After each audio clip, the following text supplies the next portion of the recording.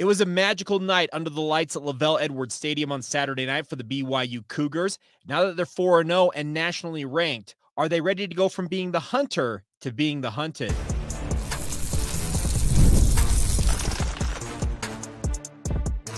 You are Locked On Cougars, your daily podcast on the BYU Cougars, part of the Locked On Podcast Network, your team every day.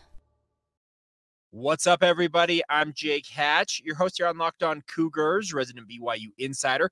Thank you for making Locked On Cougars your first view and or listen of the day. Appreciate all of you who like to call everydayers right here on your original daily podcast focused on the BYU Cougars. Today's show is brought to you by our friends over at Game Time. Download the Game Time app today, create an account, and use the promo code Locked On College for twenty dollars off your first purchase.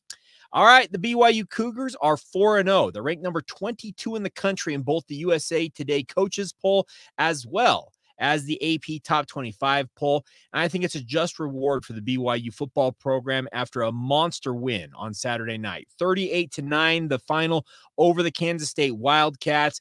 Uh, those of you who did not see it, I would encourage you to go back and check out my postcast edition of podcast I do in the wee hours after BYU plays a football game and give you my initial reaction to it on Mondays during the football season, we do what we like to call Film Review Monday. And I want to start off today talking about the fact that BYU is nationally ranked because now that the Cougars are in the top 25 polls, they're 4 0 on the season. They're headed to Baylor. And if you look at the different sports books out there, BYU is anywhere from a slight favorite to pick them to a slight underdog against the Baylor Bears in Waco on Saturday.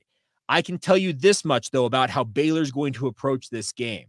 Dave Aranda and his staff from the Baylor uh, football program are going to tell their guys, you're the underdog. They have a target on their back. You have to go take them down because they are now the favorites. They are the nationally ranked team. They're first place in the Big 12 conference. BYU under Kalani Sitake has thrived for most of his tenure as an underdog. When they are overlooked, they routinely seem to outperform those expectations.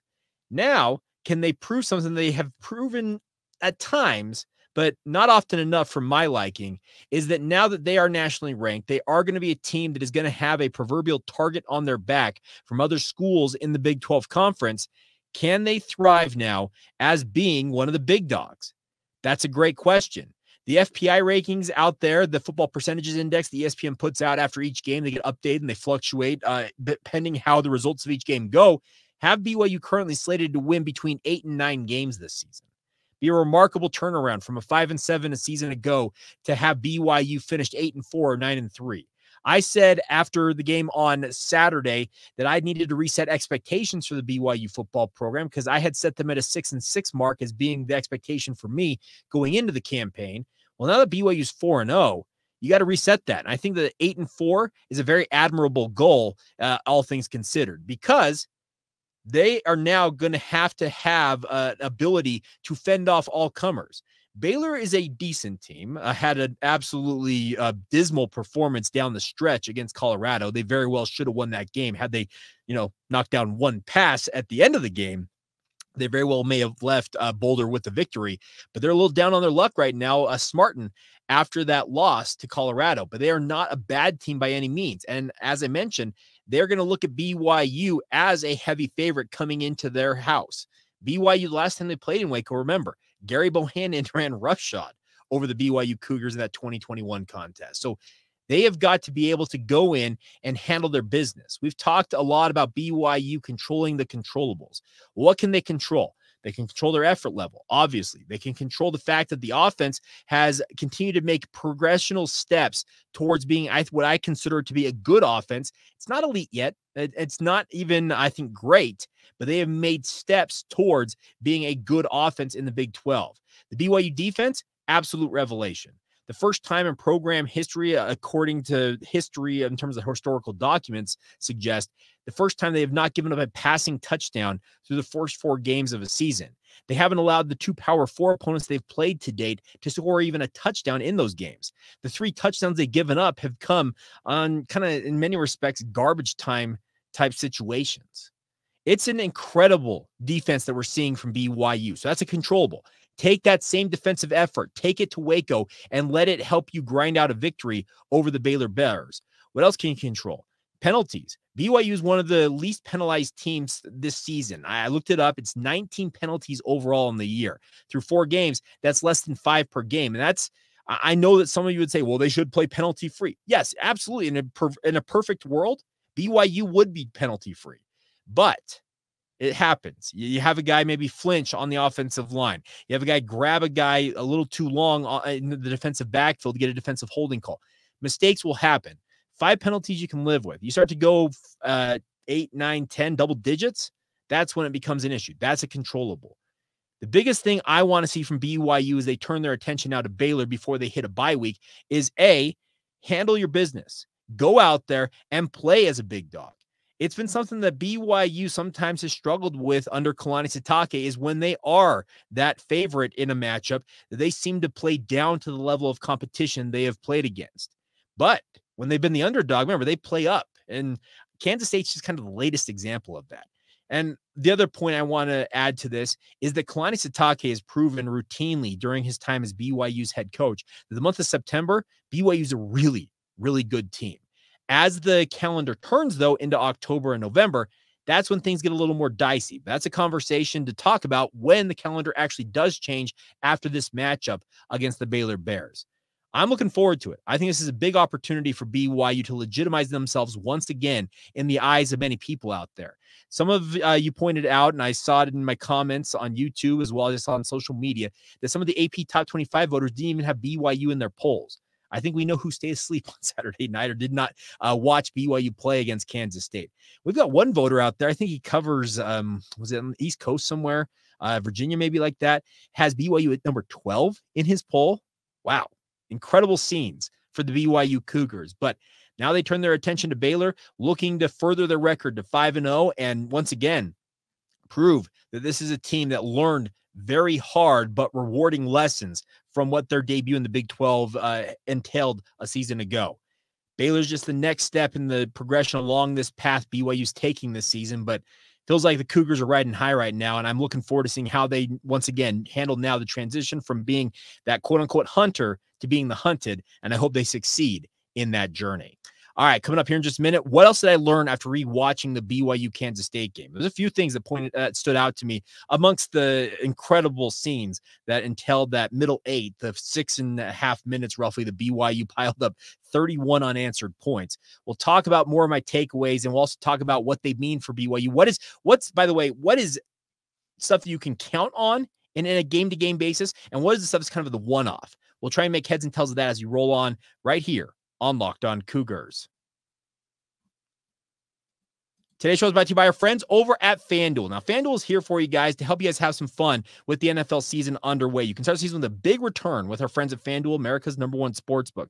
When you get the hunch in the middle of a game, you can check out the latest stats, view live play by play, and so much more on the same page where you place your bets with our friends at FanDuel. The app is super easy to use. Even if you're not an NFL guy, you're college football, uh, you're into hockey because you have the Utah Hockey Club made their debut yesterday. They won 5 to 2 over the St. Louis Blues in Des Moines, Iowa. You want to take a, a shot on them taking on on the Los Angeles Kings tonight. FanDuel has got all of those options for you guys and a bevy more out there for you guys. So the best part is once again, you get a great return from our friends at FanDuel. Go to fanduel.com and bet, place a $5 bet and get $200 in bonus bets guaranteed when you place that once again, that $5 bet. $5 bet, $200 in bonus bets courtesy of our friends over at FanDuel. Go to fanduel.com to get started today. That's fanduel.com. Of course, they once again, they are America's number one sports book. Thank you once again for making Locked On Cougars your first view or listen of the day. If you have not done so already, I encourage you guys to check out the Locked On College Football podcast. You may see a familiar face or hear a familiar voice on today's edition. I had a great opportunity to catch up with Spencer McLaughlin, the host over there of Locked On College Football. It's a great podcast, get you kind of apprised of all things going on in the college football universe. And BYU is one of the big stories nationally. When you upset a team the caliber of Kansas State, there's no doubt you're going to get more national attention. So check it out. It's Locked On College Football, wherever you get your podcasts. Also available on YouTube. And of course, it's proud to be part of the Locked On Podcast Network, your team every day. All right, what did I take away after rewatching the BYU game? Well, I kind of came away in the camp that BYU has very good things happening for it. Obviously, you create your own luck in many respects when it comes to college football. I think case in point, you look to the interceptions and the fumble that Jack Kelly caused. Those, those three turnovers BYU cashed into the tune of 21 points. I say it often on this podcast. I'm not the only one who says it, but good teams make you pay for your mistakes in college football. When you get a turnover, you want to turn that into seven points. You want to just make it hurt for the opposing team. And that's exactly what BYU did Saturday night. Something that I loved, I think is a sustainable thing from those three turnovers for BYU is remember, the punch out or the strip from Jack Kelly proves once again that he is just an absolutely insanely talented football player. I'm not sure what the ceiling is for Jack Kelly, but when he gets that ball out and all of a sudden Tommy Prassas is, I say, Tommy on the spot, scoops it up and rumbles in from uh, 20 whatever yards out for a touchdown, that flipped this game on its head. That's when the pressure mounted for Avery Johnson. And I saw rewatching this game that Jay Hill said, All right, game on, everybody. Let's do this thing moments after that uh, scoop and score for the touchdown, remember, it was a zone blitz that BYU ran that Avery Johnson ended up throwing that interception to uh, Tyler Batty. Incredible play. Uh, by the way, Tyler Batty, props to you for being able to do that. Showed off your athleticism as a big man, 6'5, 280, whatever you weigh, to go down low and scoop that pass and get your hands underneath and make sure it did not touch the ground. Incredible effort in that. But as I rewatch this game, and some of you may have seen it yourself, as Avery Johnson comes off the field and he's pulling off his helmet, there's a coach that asks him essentially, "Hey, what what happened out there?" I can't be 100% certain because my lip reading skills are not elite, but I'm fairly certain that he said, I didn't see him. What that means is he didn't see Tyler Batty drop back from his defensive end position in a zone blitz concept right into that throwing lane that he ended up throwing it right to him. That screams to me that Jay Hill had Avery Johnson in the Kansas State offense exactly where he wanted. And he ratcheted up the pressure, said, All right, we're bringing in a corner off the other side to pressure Avery Johnson into throwing this pass early. And Tyler Batty sat right in that hole in the zone and picked it off. Incredible play. Then after halftime, Kansas State uh, gets it to halftime. Then BYU comes back out. What happens then? Well, Jay Hill says, All right, I got this kid by the toes, if you want to use that expression. He's just essentially, I've got this kid right where I want him. What does he do next? He starts to bring more pressure from BYU, but he also uses zone concepts uh, beyond that. The Harrison Taggart interception was a case of what I believe is what they use the term seeing ghosts when a quarterback is under pressure and all of a sudden they're starting to feel pressure, whether real or imagined, in the case of that play, remember Tyler Batty nearly had a sack on that play, but all of a sudden Avery Johnson steps up, feels the pressure, and throws an incredibly ill-advised pass in the middle of the field that Harrison Taggart reaches up and picks off. If Harrison Taggart doesn't get it, well, guess who's going to get it? Crew Wakley. Crew Wakley undercut, uh, undercut that route, and the ball was not thrown well at all.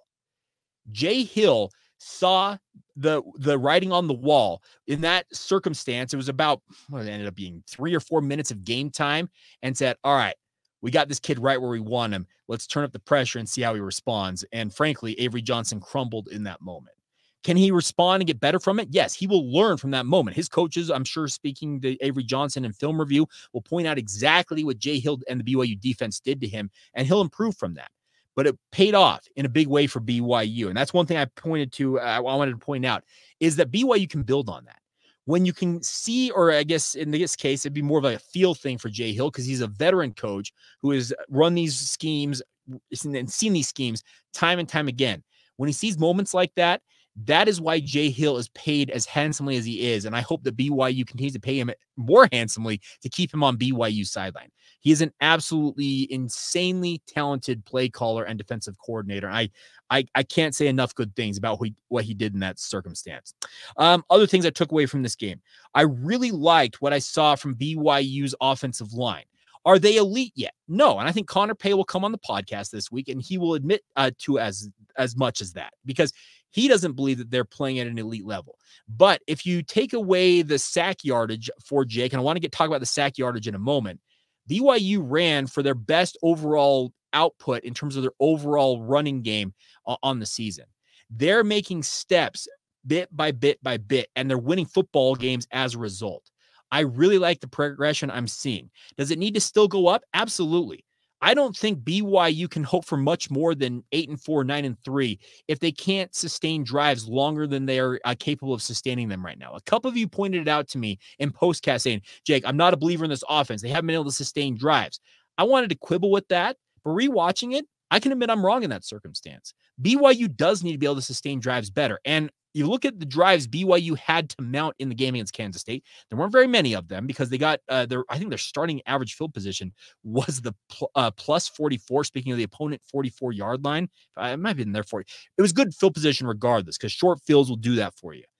But when BYU had drives they started to put together, remember their second and third ones in the first and second quarter, BYU had a good thing going sacks, got him behind the chains, and BYU did not respond well. Third down percentage continues to be a sore point for this BYU offense. They have got to find a way to stay ahead of the chains and maintain that momentum they get. There's still decision making at times from uh, Jake Retzlaff. I think that sack he took, remember, they were going uh, from uh, south, no, sorry, uh, north to south. There's a third drive.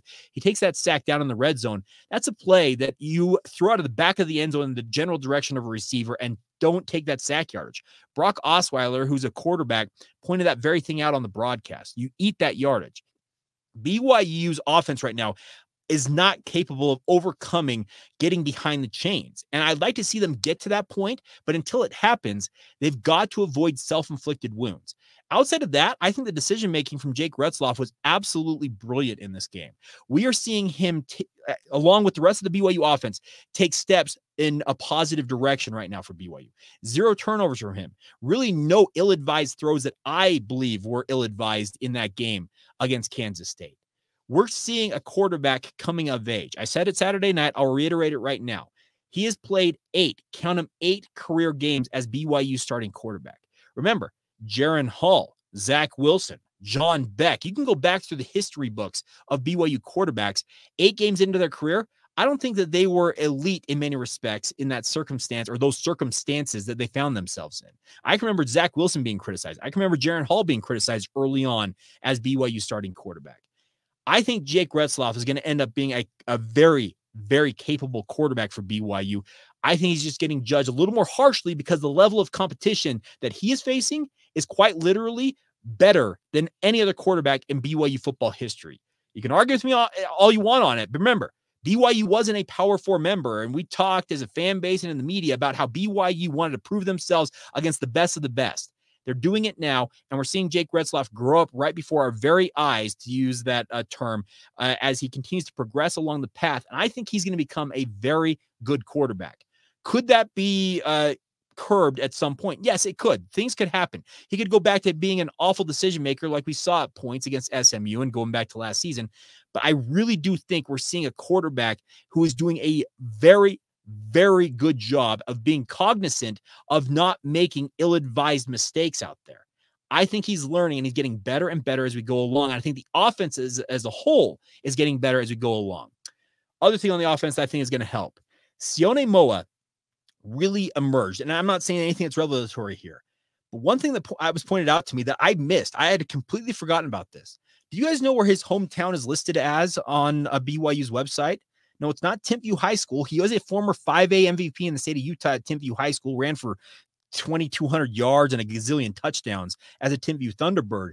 He grew up in the Inland Empire down in Southern California. You know, one of the great BYU running backs of late have come out of the Inland Empire. Oh, some guy named Jamaal Williams and another guy named Tyler Allgeier. I don't know what BYU's doing down in the what they, they like to call the IE in, in down in Southern California, but they are routinely finding guys who are capable running backs out of that area. Sione Moa appears to be the next guy. Uh, and LJ Martin, I hope he gets back soon. I, I said it before, I'll say it again. I don't expect to see him until after the bye weeks when BYU takes on Arizona on October 12th. That's when I expect to see him back in action for BYU if all goes well.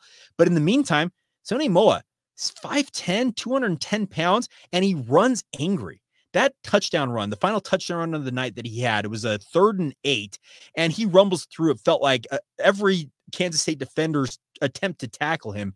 He runs with power, he runs with balance. I'm telling you, the comparisons between him and those other Inland Empire running backs, Jamaal Williams, Tyler Allgeier, they're not unfounded.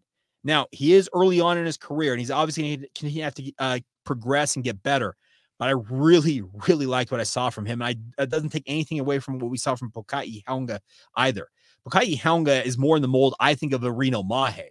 You have a thunder and lightning combo here. Remember when uh, Reno, aka Junior Mahe, was at BYU, he was more of that scat back, change of pace guy, whereas you had other running backs who were the bigger body, and that's what a guy like Sione Moa is.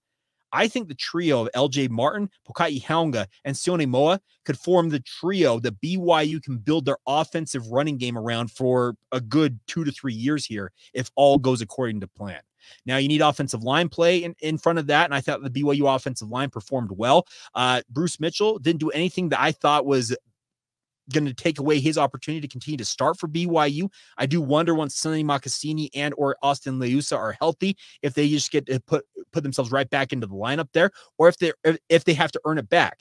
But Bruce Mitchell, a converted uh, defensive lineman, I thought was very very good. So that's just some of the stuff I took away from this game. Harrison Taggart was absolutely awesome at middle linebacker. Remember all the conversation about Siale Esera should be the middle linebacker, maybe Ace Kaufusi should be the guy. Harrison Taggart said, "Yeah, no, no, no, no, no, no. That it's my job. And a career high 10 tackles, had that interception. He was absolutely marvelous. I mentioned Jack Kelly. I, I just don't know what level he can continue to rise to, but he continues to show every single game. There's more to see from him. I, I'm absolutely astounded at what we're seeing from this BYU team. Is it sustainable? I don't think the offense can afford to have 241 total yards and expect to win a bunch of ball games. They need to get back to running the football and playing complementary football in the offense. But once again, they took advantage of what was given to them in that game. It was a crazy set of circumstances, but good teams will make you pay for those mistakes. And this is what BYU did. Can we see against Baylor this week when maybe they're not going to have those same type of turnovers? You're not going to have the home crowd behind you. Can you go out there and sustain those long, grinding drives? Can you put together a 10 play drive that ends with a touchdown and it's just demoralizing for the Baylor Bears defense? That's, I think, the next step of progression for this BYU offense. But so far, so good. They're 4 0. I think that's uh, enough for me to feel good about BYU. All right. Uh, final stanza of today's podcast. We'll talk a little bit more about what to expect from BYU. We'll also talk about some of the results from BYU uh, teams over the weekend as well as they wrap up. Uh, in speaking of BYU women's volleyball, they wrapped up their non-conference play. We'll wrap up this edition of the Locked On Cougars podcast next. Today's show is brought to you by our friends over at Game Time. Now, Game Time is here for you guys to get you out to the events you want to go to, whether it's sporting events, music, concert, concert, theater, I don't even know what you, uh, you're into comedy. It's all available to you guys from our friends at Prize Picks. The best part about the Prize Picks app is they've got a really cool feature in it that I absolutely love. I get really, really irritated when I go to buy tickets online at some other ticket marketplace. I see a ticket price, I'm like, oh, that's a good price. Hit it, and all of a sudden, once I get to the checkout screen, I get hit with feels like 50 different fees that jack up what you can do with game time is you can toggle what they call the all-in pricing feature on the app. You toggle it, it tells you exactly what you're paying right up front. So you know exactly what the overall total is going to be. There's no more getting surprised by uh, all those fees that seem to pop up on the other ticketing uh, marketplaces. They also offer the lowest price guarantee, or they will credit you 110% of the difference of those tickets. So take the guess, guesswork out of buying your tickets and do it with our friends at Game Time. Download the Game Time app today and create an account. Redeem the promo code Locked On College. That's Locked On College for $20 off your first purchase. Terms apply. Again, create an account, redeem the promo code L O C K E D O N C O L L E G E. That's Locked On College for $20 off. Download the Game Time to, Game Time app today. What time is it? It's game time. Thank you once again for making Locked On Cougars your first view or listen of the day. As we often say, if you guys have not done so already, another shameless plug for you guys to join the Locked On Cougars Insider Group. You guys want all the inside scoop of what I'm hearing about BYU football, basketball, and everything in between. Join us on the Locked On Cougars uh, Insider Group. The link is in the show notes. Whether you're watching and or listening to this, you get a 14 day free trial. And the best part about it is it's coming in the form of a text message. You don't have to log into a message board or have to go on an app to find out the information I've got. It comes to you in the form of a text message. You can have one on one conversations with myself in game. We've been doing a lot of that through the first four games of the season. So if you want to join us today, click the link in the show notes below and join us on the Locked On Cougars Insider Group. All right, uh, let's wrap up today's show with a couple of notes uh, from the BYU weekend that was. Want to start off with BYU women's volleyball. Congratulations! And then they finished off their uh, non-conference play with a very uh, sound three nothing shutout of uh, a UVU. And number 19 ranked BYU has had an interesting non-conference slate for women's volleyball. They've had a slew of five match thrillers have lost some, have won some, but uh, crazy scenes, obviously. And we'll see how things go as they move now into Big 12 play. But I don't count out uh, the BYU women's volleyball team at any point. There's still a reason why they're ranked in the top 20 in the country, even with some of the losses they've absorbed. But congratulations to them on that win over UVU. Uh, tonight, if you're looking for something to do, BYU women's soccer is going to take on Utah annual rivalry deal in Provo. Uh, it's obviously Big 12 play now with those two, both being in the Big 12 conference. It's at South Field. Looking forward to this one because the stakes just get they rise even more. Seven o'clock tonight. You can catch it on ESPN Plus if you have not had a chance to uh, watch them in person, or you don't have the chance to go watch them in person, but. It's a big, big one. The women's soccer team, similar to women's volleyball team, has uh, struggled through some stuff in the non-conference slate, but looking to ra- ramp it up in conference play. And you know what? If you can take down your rival in the process, why wouldn't you enjoy that? That that so just a couple of notes for you guys on that front with regards to other BYU sports in action. Now, the final thing I've got for you guys on today's show is that uh, the biggest thing with BYU football program right now is that I think that there's a metrics thing versus the eye test that aren't necessarily always matching up with BYU football. I'm, I'm going to try and make sense of this really quick because we got to wrap up this edition of the podcast understand that metrics are out there to help quantify how good or bad things are for a football program. We hear all the time. I talk about FPI. I talk about PFF grades. I, I talk about a lot of this stuff on this podcast. And it's a it's a way to quantify, like I said, how good or bad things are. In many respects, I still trust what I see with my own eyes and my gut feeling on a lot of things when it comes to the BYU football program. What I saw Saturday night, for example, against Kansas State, was a team, speaking of BYU, that believes in itself and is sick and tired of hearing people downgrade them and say that they aren't any good. This is a team that I think, as I mentioned all the time, learned some really, really hard lessons a season ago. There were guys that seemingly quit on that team midseason last year and it spiraled on them. They lost five straight games to end the year yes, they fought hard. I felt like uh, when their back was against the wall against Oklahoma and Oklahoma State, but they cannot afford to have this slip again. And what I am seeing and what I saw Saturday night is a team that learned from that experience last year against uh, Big 12 opposition. They have got eight more of these games. It's going to be an absolute war because guess what? None of these games, even the Houston game, I know Houston doesn't appear to be any good. That's at the end of the season, and BYU could be worn down as they welcome the Houston Cougars uh, to LaVell Edwards Stadium in late November every one of these games upcoming for BYU, they've got to maintain the level of play they showed Saturday night against Kansas State. It is much easier said than done. And anybody inside that program that experienced what happened a season ago can tell you exactly uh, that point that I just made is that you can talk about it all you want, but until you go through it and really experience it, you can't really uh, go out there and have the the want to, the desire, the grit, whatever verbiage you want to use to go out there and say, you know what, I got to put my heart and soul on the line here in these games. It's going to take a lot out of this BYU team. I'm very thankful they have a bye week after Baylor this week to regroup a little bit ahead of what I uh, what appears to be a very tough three game stretch. Arizona, Oklahoma State, and UCF a road game in Orlando. They're going to test BYU extremely, extremely uh, hard, well, whatever I'm trying to say there in that three game set. But the nice part is you get through Baylor this week, and whether you're four and one or five and zero, oh, then you reset. You look at the next stanza because the month of October it's been routinely BYU's weakest month under Kalani Sitake over the past four to five years. Can they flip that narrative on its head? I believe that they can, but that team, speaking of the team, and Connor Pay will talk about it this week. I'm going to ask him about it. They have to go out there and answer the bell every single week. And I think they learned their lesson from a season ago. And the team I saw, like I said, metrics can tell me one thing, my eyeball test tells me another. I think this is a team that absolutely believes that they can go out there and shock the world. And I hope that they do. They've shocked the world so far. They're 4 0 against all odds. They're 4 0. I think most of you and in your heart of hearts, when you're doing the math on the season, I would agree with you. I had BYU 2 and 2 at this point. Well, guess what? They're 4 0. So let's celebrate that fact, and we'll uh, we'll continue to look ahead and see what we can find out and learn about this BYU team as they head to Baylor this week. As I mentioned, uh, Connor Pay expecting to have him on the podcast tomorrow, so look forward to that. Obviously, throughout the week we'll have plenty of coverage for you guys. We'll catch up with Cam Stewart from Locked On Baylor as well to get his inside scoop on what to expect from the Baylor Bears. So we got plenty for you guys as the week progresses here on the podcast. So as always, thank you for making it your first listen of the day. Thank you to all of you who are everydayers as well. And until tomorrow, everybody. Have a great rest of your day. And this has been the Locked On Cougars podcast.